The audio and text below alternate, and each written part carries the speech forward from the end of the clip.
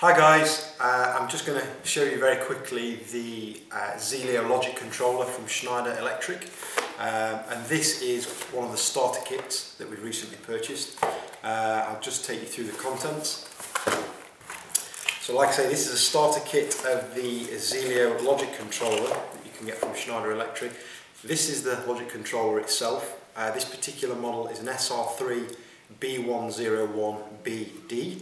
Uh, this has uh, 24 volt DC inputs as well as analog input capability as well. Uh, and on the base of the controller, you've got four relay outputs.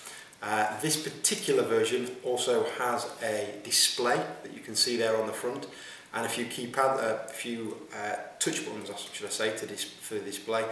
This is uh, so you can uh, have a quick look through the program and also program it from this although we won't be using the program this way, the software, because I just don't think it lends itself to uh, writing any, any code that's more than a few lines long really, it gets a bit tedious doing it that way.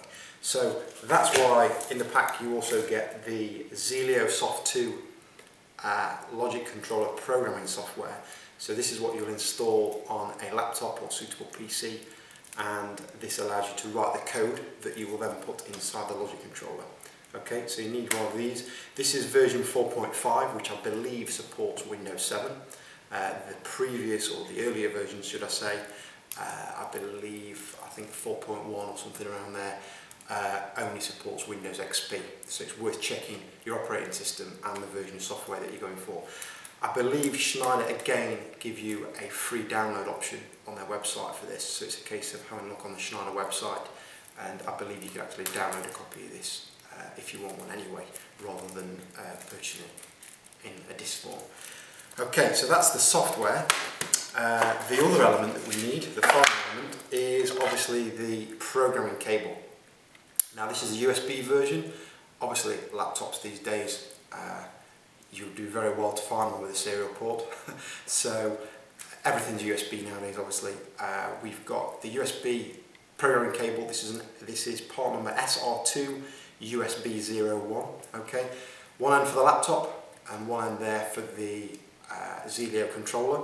So to fit the lead, if you need to, you've got the Zelio controller, you've got this little clip here, this little door that comes out. So you remove that and then you're able to put your lead in. So this will just slot the other way around. Yeah, just slot in there. As so. So that's how you program the Zelio. and then you have the USB obviously in your laptop or PC, however you want to do it. Uh, yeah, so that's it guys. So that's the Zelio logic controller. Uh, I hope it was useful. And uh, yeah, if you ever need any help uh, getting one of these up and running or writing some code for it, uh, be sure to let us know. Thanks for watching.